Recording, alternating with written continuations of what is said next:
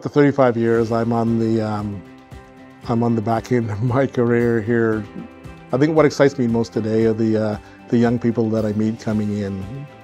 I know part of what I do is when young people are on board is I give them advice, I tell my story, I let them know that you know what there's whatever you want to do, you can do right here within Canadian Tire. My first memory, I mean, from a from a childhood is um, my family immigrated here in 1976, and we were told that was this when you wanted stuff, that was the store you went to.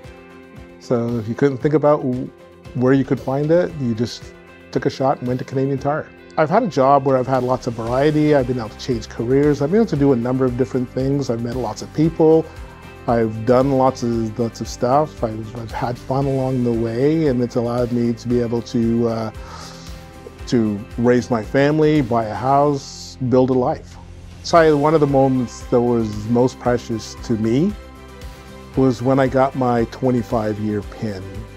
I'm thinking like, you know what, I'm here 25 years and I've got some senior folks that know who I am and appreciate what I do. I do participate in the, uh, the Black Employees Network. I, am on the PartSource DIB committee and I'm thinking with the, the time that, that, I, that I have left at Canadian Tire, I just like to leave the place a little better than I found it.